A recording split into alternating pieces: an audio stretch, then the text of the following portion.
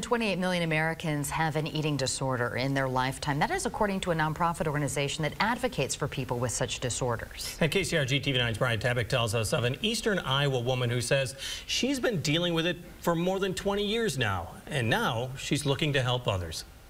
This is my son Nolan and myself. For Jamie Shaler of Dubuque, going through pictures, even the happy ones. This one was Christmas 2019. Bring up a dark past. I hid it so well, but the pain that I was feeling inside. Shaler started severely limiting her food intake at 15 and started forcing herself to vomit at 18. She tried to heal on her own, but that wasn't working and she hit a new low in April of 2021. Sitting on the couch and crying and um, telling myself, you know, I don't want to live like this anymore. She started to see a therapist and is now a year and a half into her recovery. She started a support group, Never Alone, through the National Alliance on Mental Illness in Dubuque to help others. Everybody's journey is different with an eating disorder.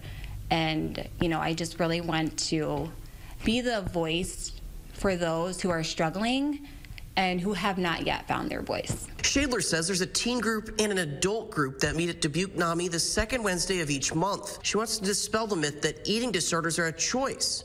They're more to do with brain health than food. I want people to just really understand how incredibly difficult this disorder is. So going through pictures. Past July, my husband and I in Venice, Italy. Can bring back the happy memories.